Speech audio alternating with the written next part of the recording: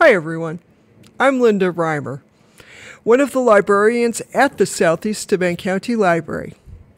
Welcome to Library Connections, our weekly readers and listeners advisory video cast. Enjoy. Library Connections number 135. This is the Friday, March 10th, 2023 edition of Library Connections. Kicking things off with the top five fiction bestsellers for this week from the New York Times.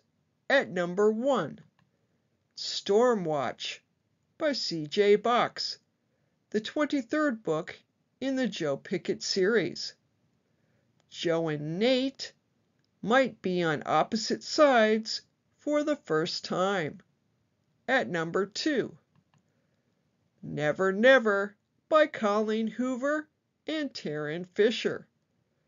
Questions arise when a pair of lovers try to uncover why they suddenly became strangers. At number three, It Starts With Us, also by Colleen Hoover. In the sequel to It Ends With Us, Lily deals with her jealous ex husband as she reconnects with her first boyfriend. At number four, Lessons in Chemistry by Bonnie Garmus. A scientist and single mother living in California in the 1960s becomes a star on a TV cooking show. And at number five, It Ends With Us by Colleen Hoover. A battered wife raised in a violent home, attempts to halt the cycle of abuse. Moving on to the top five nonfiction bestsellers for the week. At number one, The Courage to Be Free by Ron DeSantis. The Florida governor gives his account of his achievements and shares his opinions about the political left. At number two, Spare by Prince Harry. The Duke of Sussex details his struggles with the royal family, loss of his mother, service in the British Army, and marriage to Meghan Markle.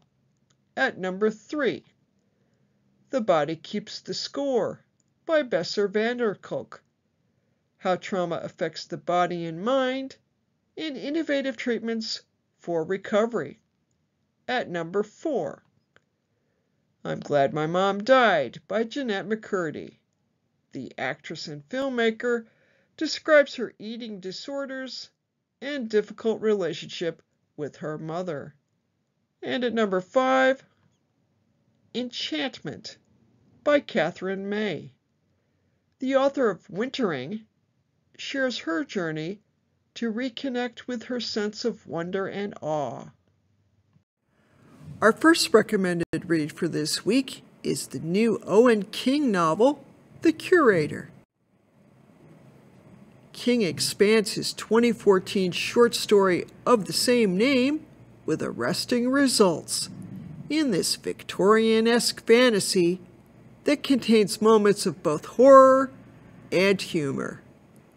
The offbeat tone is evident from the outset, as the novel's setting a city nicknamed the Fairest, is described as jutting from the body of the country like a hangnail from a thumb.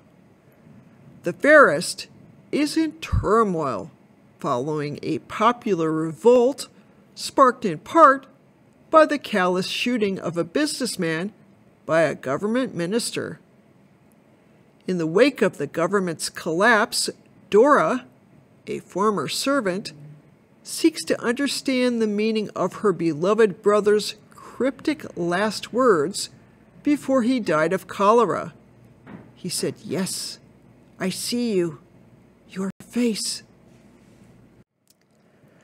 To that end, she obtains a position in an occult research hub, the Museum of Psychical Research, with the aid of her lover, Robert Barnes, an officer in the rebels' Civil Defense Force.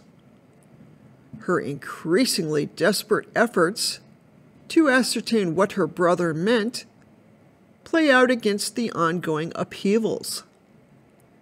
King's creative world building is admirable, and he makes even walk on characters feel fully realized.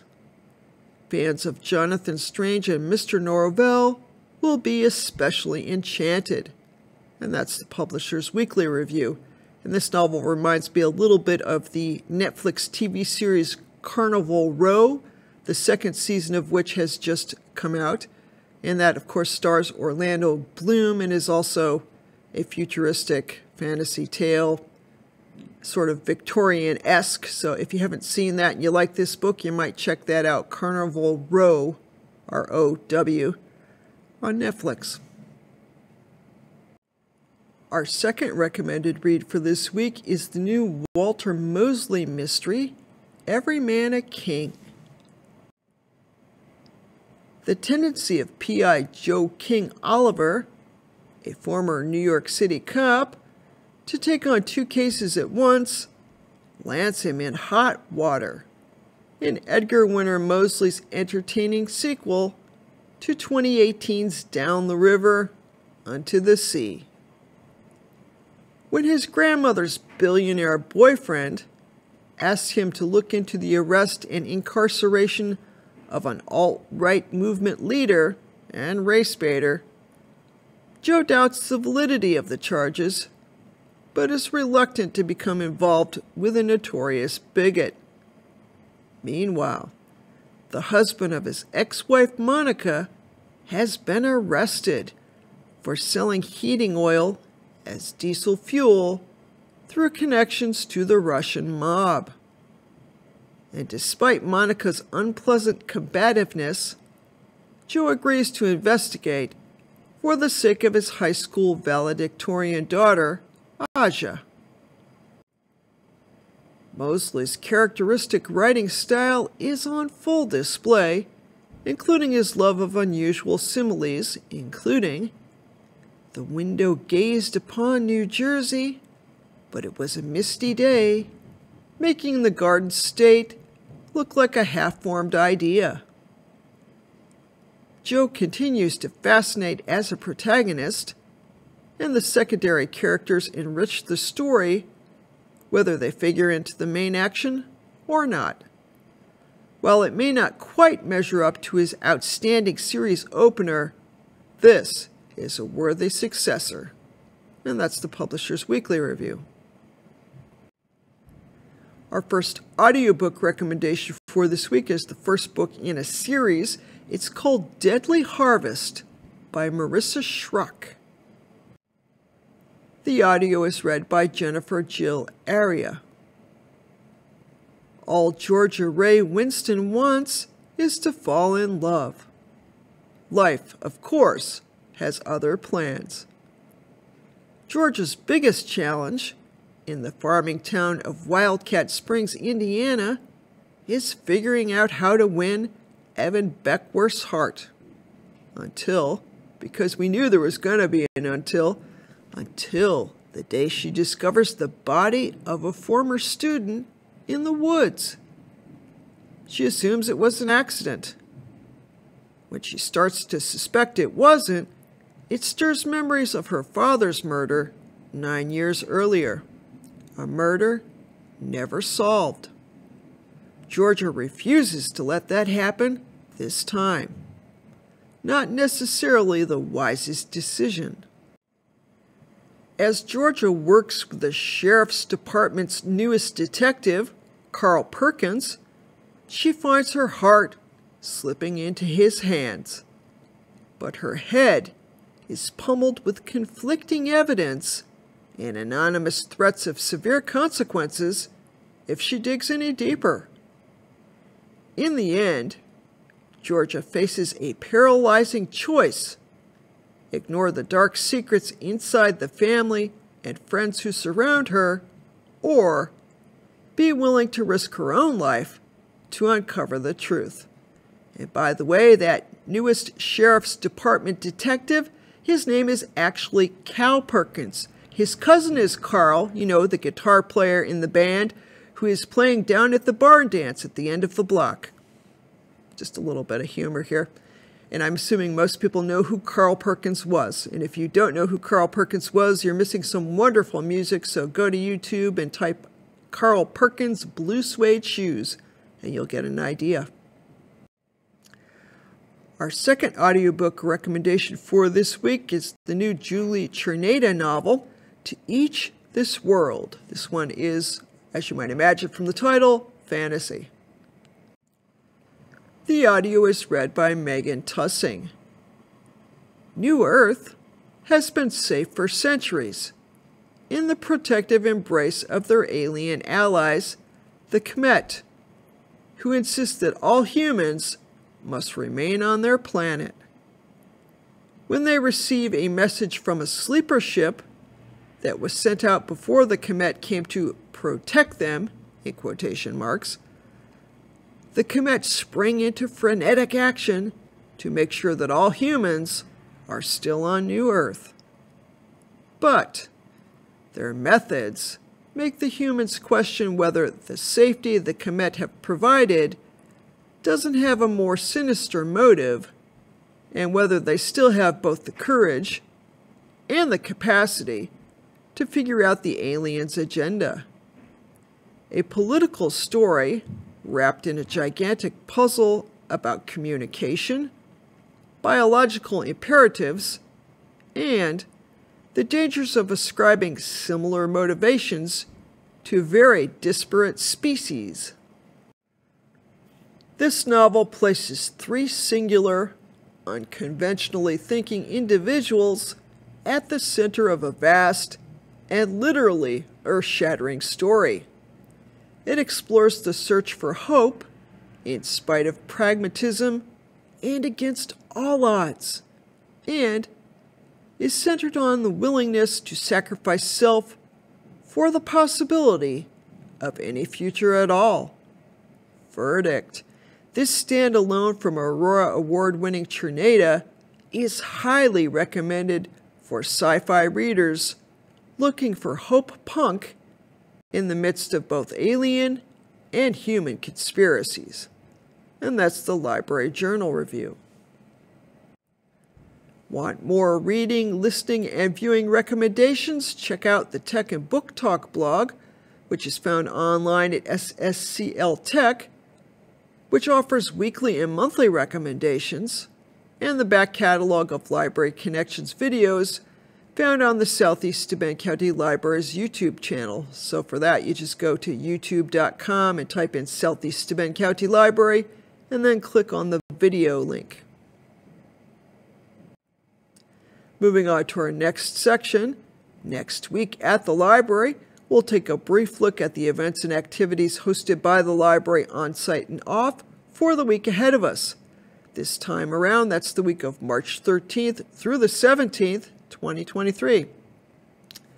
Happy early St. Patrick's Day. Information about activities and events can also be found online. Just visit the library's website located at ssclibrary.org and click on the big bold calendar link you'll see located near the top of the page.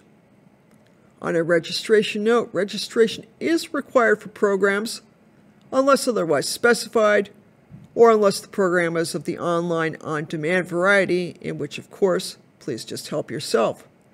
You can register for programs through the library's website by calling the library at area code 607 936 3713 or by just plain dropping by the library. On Monday, March 13th, we've got two programs to bring to your attention. The first, which is from 1 to 2 p.m., is an LSC author talk with David Epstein. For this program, you'll be joining best-selling author David Epstein as he chats about his most recent book, Range: Why Generalists Triumph in a Specialized World. This program is held online. The link is on your screen. You can also go through the library's website to the calendar of events online if you want a clickable link instead of having to write down and type the one here. Then from 5:30 to 7 p.m., it's crafting with Kimberly. This month they're making fabric art pins. This program is being held at the library from 5:30 to 7 p.m. On Tuesday, March 14th, we have a whole host of programs at the library, kicking things off with coffee, tea, and English vocabulary from 9:15 to 10:15 a.m. This is part of our series for adult learners of English, and this is a hybrid program held both at the library in person and online via Zoom. Then from 10 to 10:30 a.m. we have story time with Miss Sue. This story time will be held in the children's department at the library, which is now relocated back to its home location on the first floor. And this story time will have Miss Sue offering an interactive story time that combines stories, books, songs, and play to promote learning. The suggested age range is for infants to 3 years of age. And then from 10:30 to 11:30 a.m., we've got Coffee Tea and English Conversation, also a hybrid program being held both at the library and via Zoom. Then from 1 to 3 p.m., it's the weekly SSCL Scrabble Club, which meets at the library. And moving on to our later afternoon programs, we have one, GATLIS, which runs from 3 to 4.30 p.m. GATLIS stands for Gay at the Library After School, and GATLIS offers a safe and supportive space for youth to talk about gender, sexuality, and what's going on in their lives. This program and series is open to anyone ages 11 through 18, which is grades 6 through 12, and held every Tuesday. GATLIS is a partnership program co-hosted by the library and Planned Parenthood of Greater New York. The program contacts for this program, there are two, Carmen Greco of Planned Parenthood of Greater New York, who is the host for the program, and the library contact, Kayla Crane, who is our head honcho of Young Adult Services here at the library. On Wednesday, March 15th, our first program of the day is Miss Sue's Preschool Story Time, which runs from 10 to 10.30 a.m. This story time is recommended for kids ages 3 through 6, and as with the previous story time, this one will too be held in the newly reopened children's section at the library on the first floor. Then from 1 to 3 p.m., we've got the weekly Mahjong, which is a program and a gaming session, if you like, being held at the library. And then from 3 to 4.30 p.m., it's the weekly Atlas. Atlas stands for At the Library After School, and the Atlas program provides a relaxing environment to wind down after school, work on homework, play games, use library resources, and participate in guided makerspace projects. Registration is not required. Simply show up and join in. Moving on to our evening programs on Wednesday, March 15th, and actually we have one. It's the Corning Adult Writers Group, which is a hybrid program being held both at the library in person and online via Zoom, unless there's inclement weather, and then occasionally it is held just online. It runs from 6 to 8 p.m. And if you'd like to join the group, you want to touch base with the head honcho of the program, the library's head of adult services, and our resident author, Michelle Wells. On Thursday, March 16th, we've got one program. It's the Coffee, Tea, and English Book Club, which is a hybrid program being held both at the library in person and online via Zoom. It runs from 10 to 10.30 a.m. Moving on to Friday, March 17th, we've got four programs to bring to your attention. The first is March's Artful Storytime, which runs from 10 to 11 a.m. Artful Storytime is a weekly session of stories, followed by arts and crafts, the program is designed for and open to preschool age children who are 3 to 6 years of age. This program is being held at the library. Then from noon to 1 p.m., it's March Artsy Kids. Artsy Kids is a three-week session of art, history, and painting. This program is designed for and open to homeschool children ages 7 through 12. This program too is being held at the library. Then at 1 p.m., it's the debut of the latest edition of Library Connections, which you can access on Facebook, YouTube, and the Tech and Book Talk blog. On Friday afternoon at 4 p.m., we've got the Teen Dungeons and Dragons. This program is being held at the library and is led by Dungeon Master Robin. This gathering is suitable for ages 13 through 17. All levels of experience will be welcomed in this safe space. Come to one or all gatherings. And here briefly are our library programs contacts. And that's the program for this week. I'll be back next week with a new edition of Library Connections. Have a great week.